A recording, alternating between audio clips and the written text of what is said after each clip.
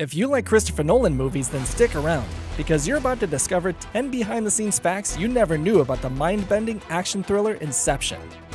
Christopher Nolan loves to do things old school by filming as much of the action on set as possible, which created a problem for the Paris disintegration scene, because he wanted to blow up a set in the middle of Paris, but the local authorities wouldn't allow him to use explosives, and he also wanted Leo DiCaprio and Ellen Page to be in the shot. So they used air mortars to cause the explosions, and the actors were placed in a designated safe zone so that not even a cup on their table would be blown over during the blasts, and they added in all the extra debris in post production.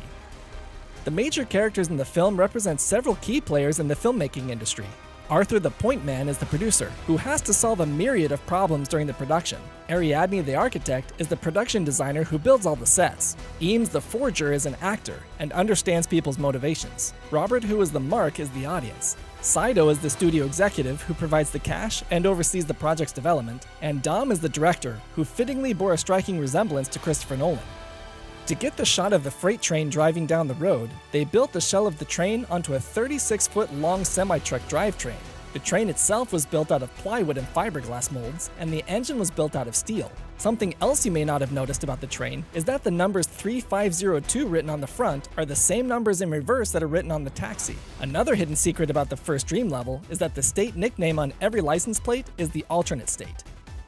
The names of the main cast of characters had some hidden symbolic meanings. For example, Ariadne is named after King Minos' daughter in Greek mythology, who helps Theseus navigate a labyrinth. Cobb's wife, Mal, acts as an obstacle that the characters must overcome, so it's no coincidence that her name in French means bad or sad.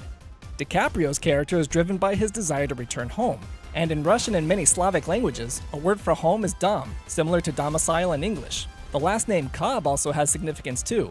In many East Indian languages, such as Hindi for example, the phonetic spelling of Cobb means dream.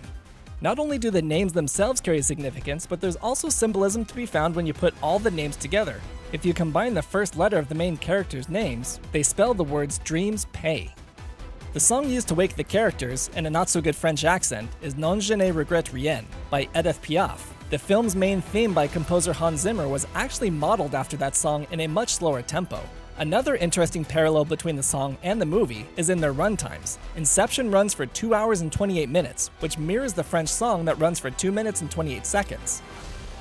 To do the tilting bar effect, they had to build the set on a seesaw rig, where the cameras were bolted down, and the crew needed to hold on so they didn't fall over while filming. But to film the actors inside it, they had to hold auditions to find extras that could stay standing up in order for the effect to work. And out of all the people they auditioned, only about a third of them could actually stay standing. For the rotating corridor shots, there was a series of eight 30 foot diameter rings to create a 100 foot long hallway, and the cameras all had to be locked into the set.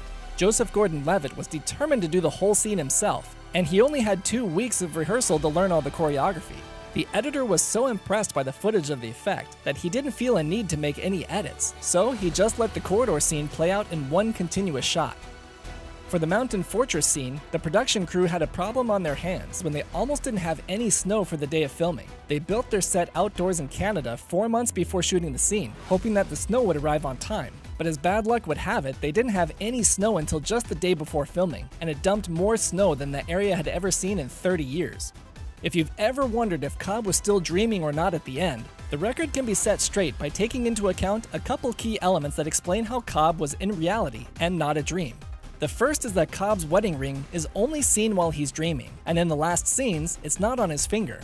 The second element is that Michael Caine has claimed that the ending is undoubtedly real, because after reading the script, he asked Christopher Nolan to help him know what was real and what was a dream, and the director told him that anytime Caine was in a scene, it was reality. So let me know in the comments if you agree or disagree. And make sure to watch one of the suggested videos you see on the screen to discover more fun facts about your favorite films.